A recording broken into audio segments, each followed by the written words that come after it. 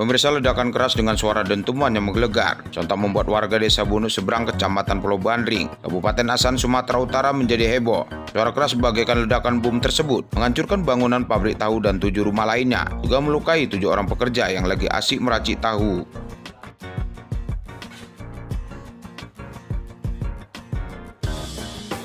Pabrik tahu milik Sapari meledak di pagi hari sekira pukul 8.30 Selasa pagi hari saat warga lagi asik bekerja. Atap seng rumah hancur dan berterbangan, bahkan bangunan cor batu juga turut hancur akibat dasarnya ledakan tersebut. Kepolisian Polres Asahan langsung turun ke lokasi kejadian untuk melakukan olah tempat kejadian perkara. Garis polisi langsung dipasang oleh petugas kepolisian untuk mempermudah aparat kepolisian melakukan penyelidikan penyebab terjadinya ledakan.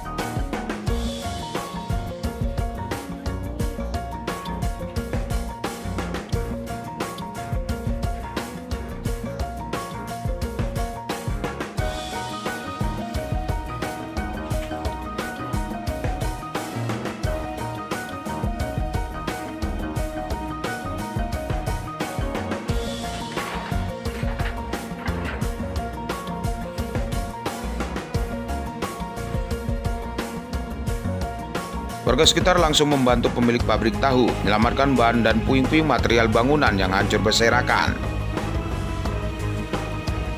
Kepala Dusun 5 Desa Bunu Seberang Dinar menyebutkan ledakan keras diduga berasal dari tabung uap. Alat untuk melakukan fermentasi kacang kedelai menjadi tahu. Tujuh orang pekerja mengalami luka. Satu di antaranya langsung dilarikan ke rumah sakit Medan karena mengalami luka serius. Sedangkan yang lainnya hanya dirawat di klinik dan rumah sakit terdekat.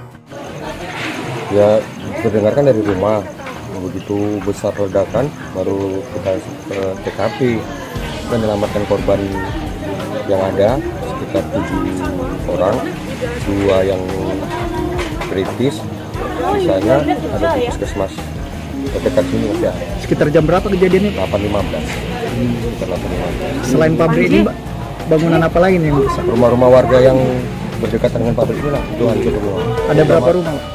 Ada sedikit yang yang parah ada satu rumah yang ada enam enam rumah lagi uh, rusak dengan Informasinya Pak ini ledakan dari mana Pak? dari tabung uapnya tabung uap Pak, ini udah berapa lama beroperasi Pak pabriknya? dua tahunan Tahunan atau puluhan tahun? dua tahunan sekitar tahun. 10 tahunan gitu Pemiliknya Pak? bapak Sapari Tidak ada korban jiwa dalam kejadian tersebut. Sementara pemilik pabrik tahu selamat dari ledakan karena lagi berada di luar rumah. Dari Asahan, Sumatera Utara, Soleh Pelka melaporkan.